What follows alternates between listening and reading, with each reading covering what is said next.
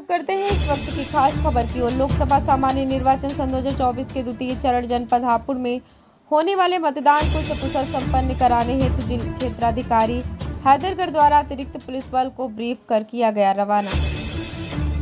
खबर है बाराबंकी जनपद से। क्षेत्राधिकारी हैदरगढ़ श्री हर्षित चौहान द्वारा लोकसभा सामान्य निर्वाचन सन 2024 के द्वितीय चरण जनपद हापुड़ में मतदान को सकुशल शांतिपूर्ण संपन्न कराने हेतु जनपद बाराबंकी से ड्यूटी हेतु लगे अतिरिक्त पुलिस बल को ब्रीफ कर रवाना किया गया।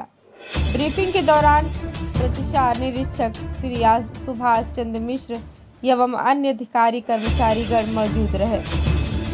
क्षेत्राधिकारी द्वारा पुलिस बल को चुनाव ड्यूटी को पूर्ण निष्ठा एवं ईमानदारी के साथ करते हुए मतदान को स्थिरतापूर्ण संपन्न कराने एवं मतदेय स्थल की सुरक्षा एवं अवांछनीय तत्वों पर सतर्क दृष्टि रखते हुए आदर्श चुनाव आचार संहिता एवं माननीय चुनाव आयोग के निर्देशों का पालन करते हुए मतदान का सुकुशल संपन्न कराने हेतु निर्देशित किया गया। क्षेत्राधिकारी द्वारा लोकसभा सामान्य निर्वाचन सन 2024 हेतु बावन मुख्य आरक्षी आरक्षी को सशस्त्र एक बस के माध्यम से दैनिक उपयोग की वस्तुएँ फ़र्स्ट एंड किट लंच आदि देकर हरी झंडी दिखाकर रवाना किया गया।